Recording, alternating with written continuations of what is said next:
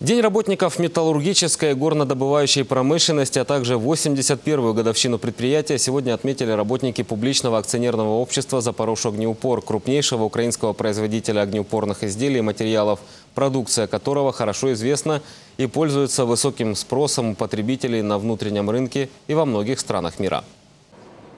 Сегодня на Запорожье огнеупоре, который входит в группу Мединвест, трудится более 1700 человек.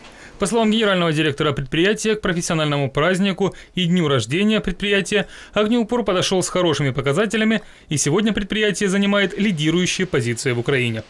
У нас была достаточно стабильная работа в 2014 году, которая позволила нам увеличить фонд оплаты труда в июне на 7%. За первое полугодие мы увеличили его на 20%. При этом у нас были производственные показатели, мы улучшали, мы разрабатывали новые продукты, поставляли их нашим предприятиям и доказывали еще раз, что они на уровне мировых стандартов, мировых продуктов, которые сейчас используются на Украине. В июне средняя зарплата на огнеупоре превысила 4,5 тысячи гривен, а к профессиональному празднику администрация выделила на премирование работников 380 тысяч гривен. А во время торжественного собрания во Дворце культуры предприятия труд лучших огнеупорщиков был отмечен грамотами и наградами. Специальной грамотой от Мединвеста также было отмечено лучшее структурное подразделение Запорожья огнеупора «Цех магнезиальных изделий».